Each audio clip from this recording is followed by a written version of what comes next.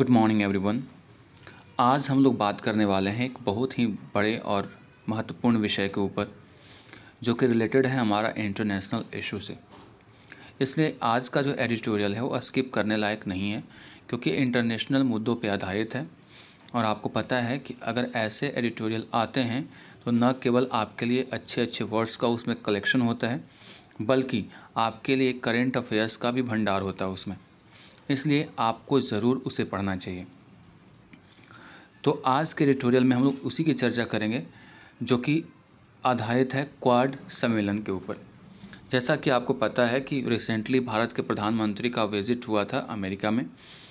Quad सम्मेलन में वो भाग लेने गए थे और उसके अलावे उन्होंने पर्सनली बाइडेन के साथ भी द्विपक्षीय वार्ता की। और जिसकी चर्चा मीडिया में इंटरनेशनल मीडिया में भी है खासकर हमारे पड़ोसी देशों में, जैसे पाकिस्तान और चाइना में खास करके इसकी बात की जा रही है क्योंकि वे लोग नहीं चाहते कि हमारा जो संबंध है अमेरिका के साथ बहुत अच्छा हो। ये चार महाशक्ति के साथ भारत, चार महाशक्ति जिसमें भारत भी शामिल था, इसकी बैठक संपन्न हो गई और प्रधानमंत्री वापस लौट आए हैं। लेकिन इसका क्या परिणाम रहा क्या क्या चीज़ें हैं जिस पे वर्क करने की ज़रूरत है, इन सारी बातों की चर्चा इस एडिटोरियल में है। तो सबसे पहले जो आप टाइटल को समझते हैं और इसको आपको शुरू से लास्ट तक ज़रूर देखना चाहिए। सबसे पहले जो हम लोग बात करने जा रहे हैं टाइटल इसका है बैक इन द गेम जैसा कि आपको पता है कि पिछले करीब दो सालों से पूरा विश्व एक महामारी के चपेट में है, जिसका नाम है कोरोना वायरस। इस पैंडेमिक की वजह से अधिकांश देशों की स्थिति ऐसी हो गई थी कि ये लोग आपस में ही इतने उलझे थे, अपने घर में ही इतने व्यस्त थे कि दूसरों के साथ बातचीत करने का टाइम नहीं था। कुछ समय के लिए, करीब एक दो साल की अगर स्थिति की बात करें तो इन पर्सन यानी खुद फिजिकली प्रेजेंट होकर के, कोई ऐसी मीटिंग ऑर्गेनाइज नहीं हुई जिसके कारण दो देशों के बीच में जो कूटनीतिक संबंध है, उसमें थोड़ा आगे बढ़ाया जा सके। फिर जब स्थिति सामान्य हुई है तो क्वाड का सम्मेलन आपको साम, आपके सामने है, जिसमें इन पर्सन शामिल होकर के फिजिकली ये सम्मेलन रखा गया। पहले ऐसा नहीं हो रहा था। इसलिए टाइटल दिया गया बैक इन द गेम यानी वापस हम लोग खेल में आ गए हैं यानी अब स्थिति थोड़ी पहले जैसी सामान्य हो चुकी है। आ, आगे जो बात की गई है इसमें आगे कहा गया कि क्वाड एंड इंडिया यूएस के टाइज के ऊपर टाइज का मतलब जो होता है समझौता एग्रीमेंट उसके ऊपर एडिटोरियल आधारित होगा। आगे बढ़ते हैं अब यहाँ पे लेखक के द्वारा क्या कहा जा रहा है? India must cooperate with US Bharat को यूएस यानी यूनाइटेड स्टेट्स यानी अमेरिका के साथ कॉपरेट करना चाहिए। किस मुद्दे पे? ऑन वैक्सीन्स वैक्सीन्स के मुद्दे पे ट्रेड मतलब व्यापार के मुद्दे पे एंड लेवरेज क्वाड लेवरेज का मतलब होता है टेक एडवांटेज ऑफ़ यानी क्वाड का जो सम्मेलन है, उसका फ़ायदा उठाना चाहिए फॉर रीजनल स्टेबिलिटी क्षेत्रीय स्टेबिलिटी का मतलब स्थिरता के लिए।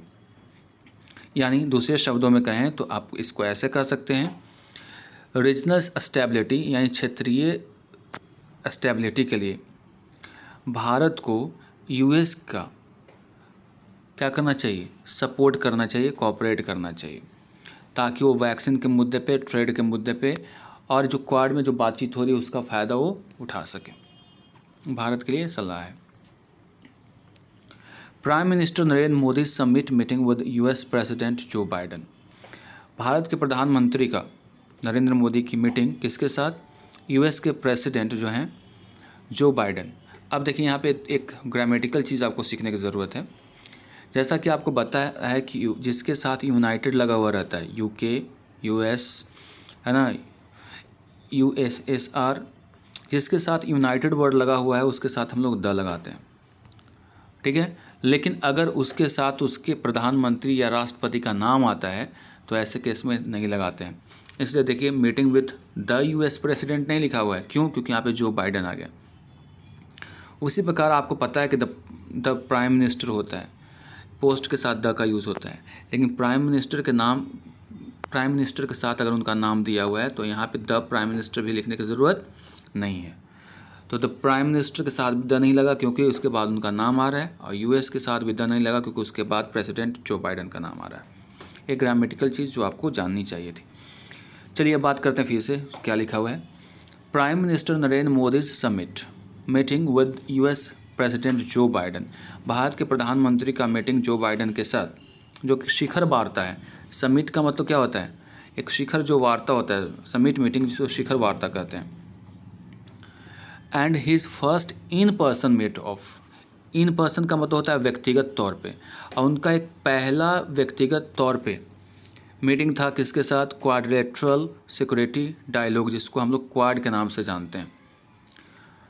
Mark an important step forward in India's engagement with the major global powers ये दर्शाता है, यानी भारत के प्रधानमंत्री का, अमेरिका के राष्ट्रपति और जो व्यक्तिगत तौर पे जो भाग लिए क्वाड के सम्मेलन में, वो ये इशारा करता है या दर्शाता है एक इंपॉर्टेंट स्टेप फॉरवर्ड एक आगे की ओर कदम, किसका? भारत का।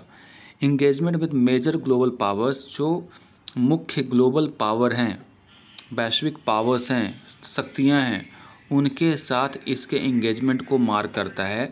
एज क्योंकि इट सिक्स सिक्स मतलब wants to revive its economy क्योंकि ये चाहता है कि ए अपने इकोनॉमी को रिवाइव करे and strategic role in aftermath of the COVID nineteen crisis और कोविड नाइन्टीन क्राइसिस से उत्पन्न हुए परिस्थिति को क्या करे? एक स्ट्रेटजिक रोल अदा करते हुए उसको क्या करे? फिर से उसको सही कर पाए।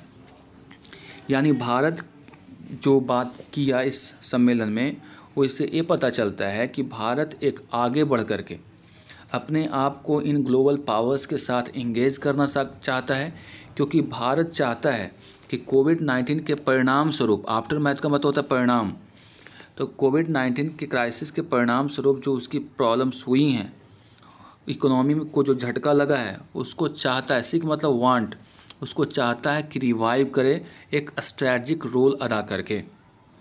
क्लियर हो गया होगा? At the heart of the two leaders meeting at the heart of एक फ्रेज होता है, जिसका मतलब होता है इन द सेंटर ऑफ़ के बीच में।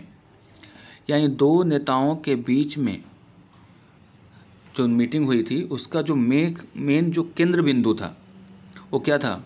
Was the issue of vaccine availability यानी at the heart of the two leaders meeting यानी जो नेताओं के बीच में जो केंद्र बिंदु था, वो था कि वैक्सीन की अवेलेबिलिटी कैसे हो। इस मुद्दे पे बातचीत हुई।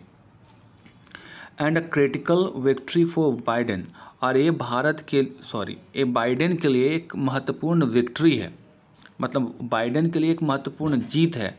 ऐसा क्यों कहा गया कहा गया? क्योंकि एज इट रिसीव्ड क्योंकि जो उनकी एडमिनिस्ट्रेशन है बाइडेन की, उसने रिसीव किया है। क्या? मिस्टर मोदीज एश्योरेंस यानी मोदी जो है एक एश्योरेंस दिए हैं उनको। इसलिए कहा जा रहा है कि मोदी के आश्वासन की वजह से बाइडेन एडमिनिस्ट्रेशन की जीत मानी जा रही है। अब क्या आश्वासन दिया? आगे बढ़ते हैं।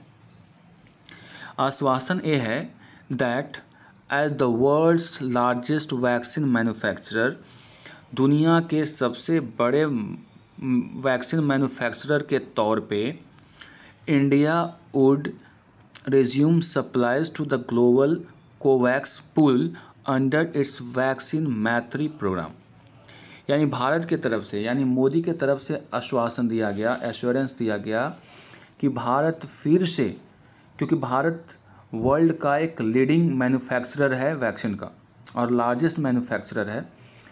इसलिए उसने क्या किया? एक एश्योरेंस दिया कि भारत फिर से शुरुआत करेगा। अपने जितने भी जो कंट्रीज़ हैं, उसको वैक्सीन उपलब्ध कराने की कोशिश करेगा एक प्रोग्राम के तहत जिसका नाम है vaccine Maitri programme.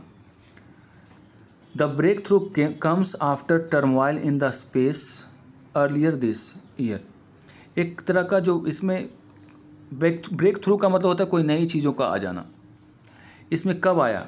जब एक टर्मोइल उथल पुथल मचा हुआ था इस क्षेत्र में। अर्लियर दिस ईयर साल के शुरुआती में साल के शुरुआत में उथल पुथल मचा हुआ था। उस समय भारत को क्या करना पड़ा था कि व्हेन इंडिया हॉल्टेड एक्सपोर्ट्स उस समय भारत को एक्सपोर्ट को रोकना पड़ा था। आपको याद होगा कि जब भारत में वैक्सीनेशन का प्रोग्राम चल रहा था तो हेजिटेंसी थी कई लोगों में और वैक्सीन की जो रफ्तार थी बहुत धीमी थी। लेकिन हमारे पास उपलब्धता ज़्यादा थी, इसलिए प्रधानमंत्री नरेंद्र मोदी के पहल पे वे कई देशों में सप्लाई कर रहे थे। ताकि जो देश चाहते हैं वैक्सीन की उपलब्धता वो आसानी से प्राप्त कर सकें। तो उस समय भारत ने एक प्रोग्राम लॉन्च किया था, जिसके अंतर्गत दूसरे देशों को सप्लाई की जा रही थी फ्री ऑफ़ कॉस्ट वैक्सीन को, जिसको मैत्री प्रोग्राम भी कहा जा रहा था। लेकिन साल के शुरुआत में हुआ क्या कि हमारा देश खुद संकट में घिर गया कोविड नाइन्टीन के, जिसकी वजह से इस टर्मोइल को देखते हुए यहाँ के लोग ने लोगों ने आरोप लगाया कि हमारे देश में ही वैक्सीन उपलब्ध नहीं है और ये दूसरे देशों को बांट रहे हैं। उसी बात की चर्चा यहाँ पे की गई है कि जब टर्मोइल आया था साल के शुरुआत में तो भारत ने एक्सपोर्ट को रोक दिया था। क्यों रोक दिया था? क्योंकि इट वॉज़ फेसिंग क्रिटिसिज्म इसकी आलोचना हो रही थी for domestic supply border next क्योंकि वो आलोचना इस हो इसलिए हो रही थी क्योंकि जो घरेलू सप्लाई है, उसमें बाधा बॉटल नेक्स का मतलब होता है बाधाएँ उत्पन्न हो रही थी।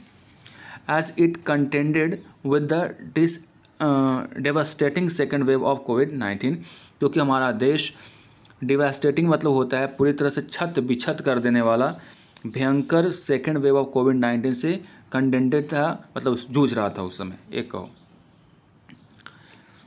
यानी कहना ये चाह रहा है कि भारत तो प्रोग्राम लॉन्च किया था, मैत्री प्रोग्राम जिसके तहत दूसरे देशों को ये उपलब्ध करवा रहा था, लेकिन बीच में हॉल्ट करना पड़ा, रोकना पड़ा, क्योंकि हमारा देश खुद कोविड नाइन्टीन के सेकेंड वेव से जूझ रहा था। अराउंड द सेम टाइम उसी समय the U S also invoked its defence production production और उसी समय यू एस ने भी इन्वोक मतलब होता है लागू कर देना। यानी यू एस ने भी इन्वोक कर दिया इट्स डिफेंस प्रोडक्शन एक्ट यानी वहाँ पे क्या कर दिया लागू? डिफेंस प्रोडक्शन एक्ट जिसमें एक कहा जाता है कि आप डोमेस्टिक लेवल पे ही आप इसको मैन्युफैक्चर करके पहुँचाइए। आपको इंटरनेशनली आप इसका यूज़ नहीं कर सकते हैं या फिर इसको आप सप्लाई नहीं कर सकते। Effectively preventing the export of raw material जिसके अंतर्गत जो रॉ मटेरियल हैं, उस पर रोक लगा दिया गया एक्सपोर्ट करने पे। यानी आप इसको एक्सपोर्ट नहीं कर सकते हैं for vaccine manufacture in a bid to in a bid to का मतलब के प्रयास में तो प्रायोरिटाइज डोमेस्टिक प्रोडक्शन यानी घरेलू प्रोडक्शन को तवज्जो देने के लिहाज से अमेरिका ने भी जो मैन ए मटेरियल्स हैं रॉ मटेरियल्स हैं, उसके एक्सपोर्ट पर रोक लगा दिया किसके तहत? डिफेंस प्रोडक्शन एक्ट के तहत। यानी एक और भारत ने भी सप्लाई को बंद कर दिया दूसरे देशों के लिए, क्योंकि खुद जूझ रहा था। वहीं अमेरिका ने भी ऐसा ही किया, जो भी मैन्युफैक्चरर की के लिए ज़रूरत है, यानी मैन्युफैक्चर करने के लिए जो चीज़ों की ज़रूरत है, उस पर रोक लगा दी एक्सपोर्ट पे। With both countries now moving forward on their domestic vaccination programmes अब दोनों देश हैं जो घरेलू स्तर पर देखें तो बहुत आगे डोमेस्टिक वैक्सीनेशन प्रोग्राम को आगे बढ़ा रहे हैं। यानी बहुत तेज़ी से आगे बढ़ा रहे हैं। अलबेट मतलब हालाँकि with the U S still struggling to overcome vaccine hesitancy in certain states हालाँकि यूएस में अभी भी वैक्सीन को लेकर के हिचकिचाहट है कुछ राज्यों में। हेजिटेंसी मतलब हिचकिचाहट। The summit provided them a timely opportunity to take up long pending conversation इस समिट में न केवल इनकी चर्चा हुई, बल्कि इसने एक अपॉर्चुनिटी प्रदान किया है to take up long pending conversation on trade यानी व्यापार के मुद्दे पे जो कई सालों से जो पेंडिंग मुद्दे थे, उसको भी शामिल करने का एक मौका मिला है इसको। डिफेंस टाइस यानी सुरक्षा को लेकर के जो समझौते होने थे, और कई मौके इसमें मिले हैं क्वाड सम्मेलन के माध्यम से। तो वैक्सीन के अलावा आप क्या क्या अपॉर्चुनिटी मिला? एक लंबे समय से जो कॉन्वर्सेशन ट्रेड पे नहीं हो रहा था डिफेंस टाइज पे हो गया और कई। At the confluence of those two areas confluence word का मतलब होता है संगम, मिलन। तो at the confluence of those two areas was the reaffirmation by Mr Biden that India remained a major defence partner जो दो बातें कही गई है ना इसमें, एक तो ट्रेड की बात करें और डिफेंस की बात करें। तो उसमें बाइडन ने कहा है कि भारत एक बहुत ही शानदार, एक मेजर डिफेंस पार्टनर रहा है, एक मुख्य डिफेंस पार्टनर रहा है, सुरक्षा पार्टनर रहा है। Making it a key nation that which Washington could share information यानी भारत को एक इंपॉर्टेंट नेशन का दर्जा देते हुए उन्होंने कहा कि भारत एक ऐसा देश है जिसके साथ वाशिंगटन यानी जो अमेरिका कुड शेयर इन्फॉर्मेशन जिसके साथ अमेरिका इन्फॉर्मेशन को शेयर कर सकता है and strengthened cooperation in advanced military technologies और ये मज़बूत बना सकता है कॉपरेशन को सहयोग को किस क्षेत्र में? एडवांस्ड मिलिट्री टेक्नोलॉजीज़ के क्षेत्र में।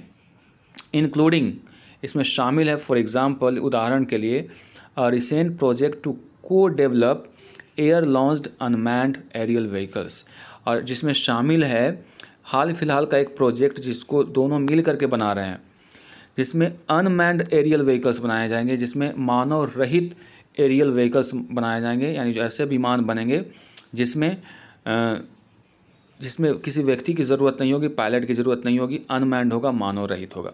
इस पर भारत और अमेरिका दोनों मिलकर के काम कर भी रहे हैं। एक किसके द्वारा बोला गया है? बाइडन के द्वारा बोला गया है कि बाइडन ने कहा कि भारत एक अच्छा डिफेंस पार्टनर के तौर पे उभरा है और जिसके साथ जो वाशिंगटन का जो है, यानी अमेरिका का जो एडमिनिस्ट्रेशन है, यानी बाइडन का एडमिनिस्ट्रेशन है, जिसके साथ वो अपना इन्फॉर्मेशन को शेयर कर सकता है।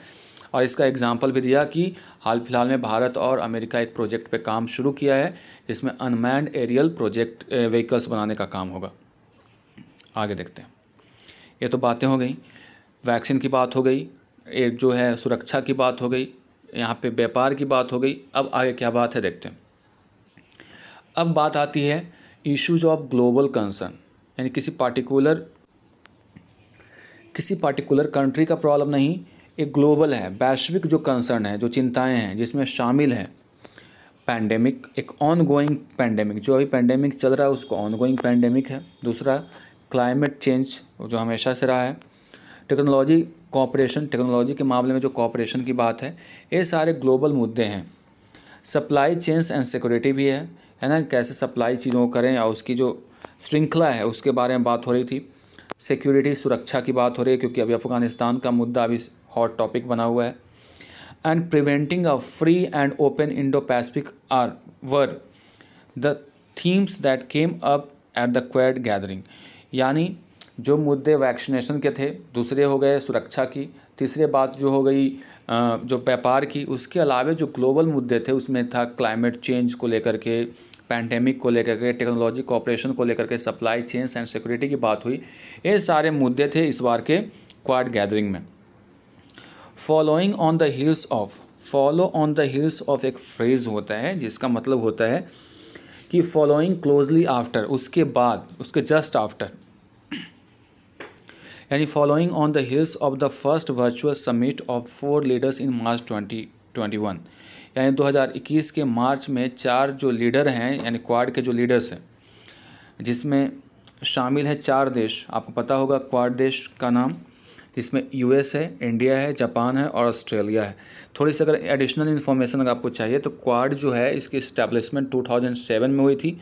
इंडो पैसिफिक रीजन में है और इसकी जो अगर बात करें तो इसमें चार देश हैं, इंडिया, जापान, ऑस्ट्रेलिया और यूएस। फाइन इसलिए इसको क्वाड बोला जाता है क्योंकि इसमें चार देश शामिल हैं। क्वाड लेटरल से बना है क्वाड ठीक है?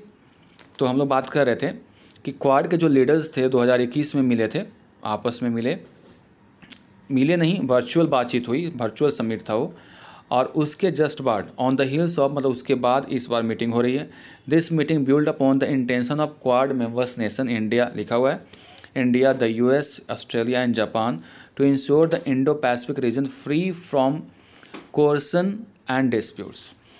2000 मार्च की मीटिंग के बाद जो ये मीटिंग हुई उसमें ये डिसाइड किया गया है कि जो भी कंट्री इंडो पैसिफिक रीजन में आते हैं उनको किसी तरह से जो डिस्प्यूट्स होता है या कोई दबाव है कोरिशन का मतलब क्या होता है? दबाव। या किसी तरह का जो विवाद है उससे आगे निकल उससे फ्री होने की ज़रूरत है। उसको सॉल्व करने की ज़रूरत है in accordance with international law यानी जो इंटरनेशनल लॉ हैं, अंतर्राष्ट्रीय कानून है, उसके तहत इसको सॉल्व करने की ज़रूरत है। Well India has sought to dissociate its role as a member of Quad from the recently announced Australia UK US जिसको A U K U S कहा गया।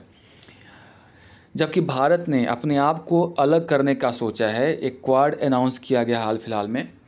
जिसमें ऑस्ट्रेलिया हैं यूके हैं और यूएस हैं, इसलिए इसका नाम है ए यू के आई यू एस पार्टनरशिप से अपने आप को डिसोसिएट कर लिया है, दूर रखने की बात कर रहा है। There is little doubt that थोड़ा सा संदेह है कि the creation of a fleet of nuclear power submarines for Australia under A U K U S framework will have significant and positive implication on India's strategic calculus regarding the Indo Pacific region इस बात में थोड़ा doubt है कि ना के बराबर doubt है कह लो थोड़ा डाउट नहीं ना के बराबर डाउट है कि जो इन लोगों के बीच में एक तरह का जो कॉपरेशन हुआ है, या फिर एक नया तरह का एलाइज कह लो बना है ऑस्ट्रेलिया यूके और यूएस के बीच में, जिसके अंतर्गत सबमैरिन्स वगैरह बनाने की बात हो रही है, एक फ्रेमवर्क बनाया गया है, इसका जो पॉजिटिव इम्प्लीकेशंस मिलेगा इम्प्लीकेशंस का मतलब होता है इसका फ़ायदा पहुंचेगा भविष्य में। इंडिया के स्ट्रेटजिक कैलकुलस पर रिगार्डिंग इंडो पैसिफिक रीजन यानी जो इन इन दोनों के बीच में, इन तीनों के बीच में जो बात होंगी या तीनों के लिए जो भी प्रोग्राम्स है, उसका फ़ायदा भारत को भी मिलेगा, ये कहना चाह रहा है। फ्रॉम न्यू डेलीज पर्सपेक्टिव अगर हम लोग न्यू दिल्ली के दृष्टिकोण से देखें health concerns and economic revival remain at the very apex of the policy agenda यानी क्वाड का तो अपना मुद्दा था ही, लेकिन भारत की अगर बात करें तो भारत का जो मेन मुद्दा था, उस पर चिंता थी भारत की वो हेल्थ कंसर्न थी और इकोनॉमिक रिवाइवल यानी जो इकोनॉमी है हमारा देश का, यानी जो अर्थव्यवस्था है, उसको रिवाइव कैसे किया जाए, वो अपेक्स का मतलब होता है सबसे बड़ा मुद्दा था, यानी ऊपरी जो मुद्दे की बात करें, वो था भारत के पॉलिसी में या फिर कह लो इसका जो मेन एजेंडा था कि हेल्थ कंसर्न्स को कैसे दूर करें और कैसे हम लोग इकोनॉमिकली रिवाइव हो पाएँ। This is a time for India to rapidly depend cooperative initiative with the US Bharat के लिए ये समय है कि वो अपनी कोऑपरेटिव इनिशिएटिव यानी एक तरह से कह लो कि सहभागिता की जो भावना है, वो यूएस के साथ और गहरा कर ले। यानी जितना आपका संबंध यूएस के साथ गहरा होगा, उतना ही अभी फ़ायदा होगा। किस मामले को लेकर के regarding US regarding vaccine vaccine and trade and continue engaging vigorously with the Quad for regional stability जो कि बात शुरू में कही गई थी कि भारत को अभी यूएस को कॉपरेट करना चाहिए और उसके जो रिलेशन है, उसके साथ डीप करना चाहिए।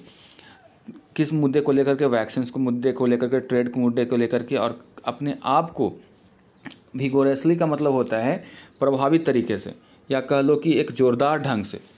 जो ढंग से क्वाड के जो रीजनल स्टेबिलिटी के लिए अपने आप को उसके साथ कॉपरेट करने की ज़रूरत है। यानी सिंपल तरीके से अगर समझें तो भारत को अभी चाहिए कि जितना हो सके यूएस के साथ साथ क्वाड के साथ वो अच्छा स्थिति बनाए रखें। That is the optimal strategy optimal का मतलब होता है द मोस्ट इंपॉर्टेंट कह लो मोस्ट फेवरेबल कह लो। तो ऑप्टिमल का मतलब होता है मोस्ट फेवरेबल तो ये जो है मोस्ट फेवरेबल स्ट्रैटी होगा, रणनीति होगी किसके लिए? To navigate the uncertain global ecosystem उस इकोसिस्टम की बात कर रहा है जो कि मुश्किल है अभी पता लगाना कि अभी कहाँ क्या हो जाएगा। That is now finds itself in जो कि भारत भी उसमें अपने आप को पाता है। अभी जो ग्लोबल स्थिति है, वो बहुत ही उथल पुथल भरा हुआ है। कब क्या होगा, कोई नहीं जानता है। ऐसी स्थिति में भारत की जो जिम्मेवारी बनती है, कोशिश होनी चाहिए कि यूएस के साथ मिलजुल करके रहें। साथ ही जो क्वाड में बात कही गई, उसका भी कॉपरेशन को प्राप्त करे। तभी भारत अपनी इकोनॉमी को साथ साथ जो समस्याएँ हैं हेल्थ कंसर्न्स को लेकर के उसको भी टैकल कर सकता है। साथ ही जो पड़ोसी देश है इसका, जो इसका दुश्मन है, जैसे पाकिस्तान और चाइना, उसको भी सबक सिखा सकता है, क्योंकि अमेरिका अभी फ़िलहाल इन दोनों देश के खिलाफ है, जिसका फ़ायदा भारत को हो सकता है। That's all for today see you in the next video do watch the video and remember the vocabs given in this